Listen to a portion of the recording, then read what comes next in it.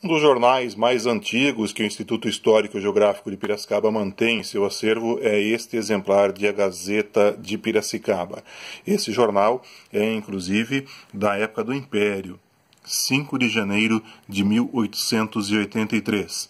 Ele, inclusive, era dirigido por Joaquim Borges e circulava de quarta, sexta e domingo não havendo, portanto, dias santificados, ou seja, mesmo os feriados em datas religiosas, havíamos assim a circulação. Infelizmente, ele está já um pouco depreciado pelo tempo, afinal, são quantos anos, né? quantas décadas de conservação. Curioso, inclusive, é ver algumas é, notícias, algumas é, divulgações feitas na época. Por exemplo, o Hotel Marquês recebem pensionistas por preço módico, né, como a gente pode ver aqui nesse anúncio.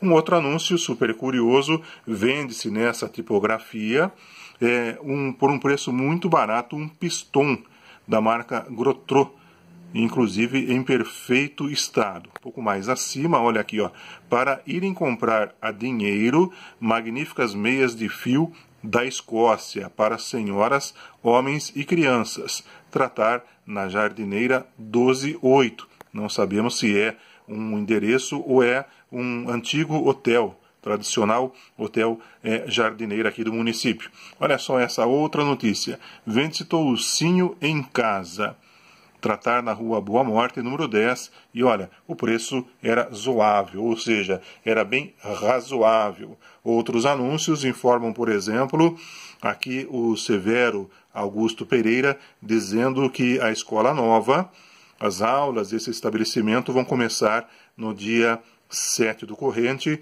a Rua Boa Morte, número 8 e tanto o ensino primário como secundário será inclusive ministrado por um preço razoável. A nota é de 3 de janeiro de 1881 são informações, inclusive, que constam em jornais desta época, que estão no acervo é, do Instituto Histórico e Geográfico de Piracicaba, como, por exemplo, a Gazeta de Piracicaba.